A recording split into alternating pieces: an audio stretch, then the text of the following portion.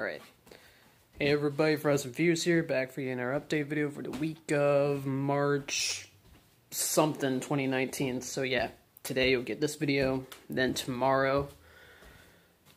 Actually, for this whole week, there's it's just gonna be just vlogs because I'll explain it for tomorrow's vlog. so yeah. I think a can exploded in the freezer, and then it just like I guess that's what happens when you leave a can in the freezer for so long. But anyway, yeah. Um, basically, there'll be more on that. Actually, it turns out I have another week of spring break. Basically. Let's see. I bleeding?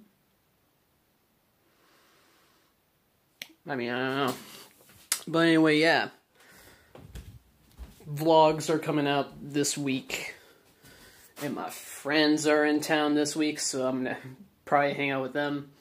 And I'm probably gonna bring my computer into the shop. So I'll explain that tomorrow.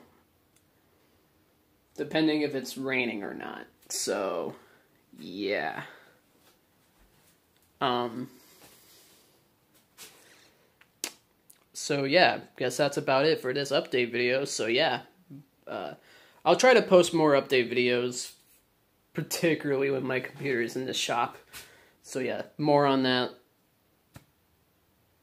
So yeah, that's about it. Thank you guys so much for watching Big Friends Views. I will see you guys in the next video. See you guys later. Bye bye.